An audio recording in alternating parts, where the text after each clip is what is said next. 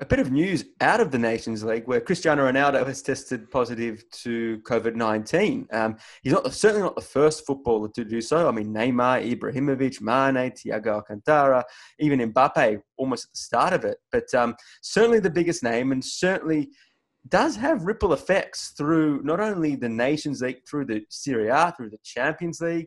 And judging by some of his photos, Johnny, on social media, a fair few of the Portuguese team who have all tested negative with him today, but they were out for dinner in very close proximity to each other the other night.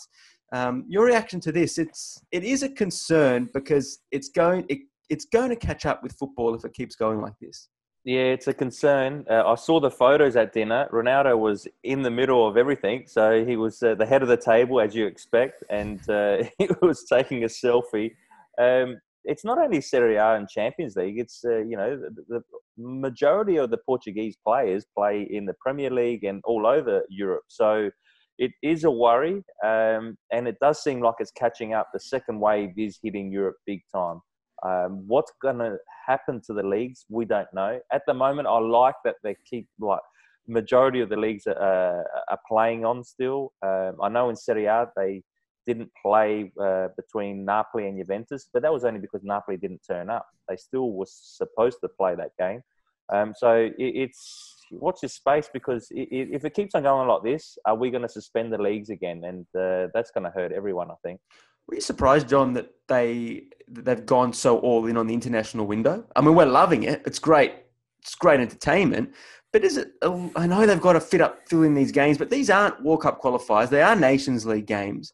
Um, were you surprised they went ahead with it at this rate of knots, including a full set of friendly fixtures as well? I'm surprised that the yeah the friendly fixtures uh, took place. Uh, you know, three games in a space of uh, a little over a week for the national team. I think it's too much anyway. And then with what's going on with the coronavirus, I think it was unnecessary.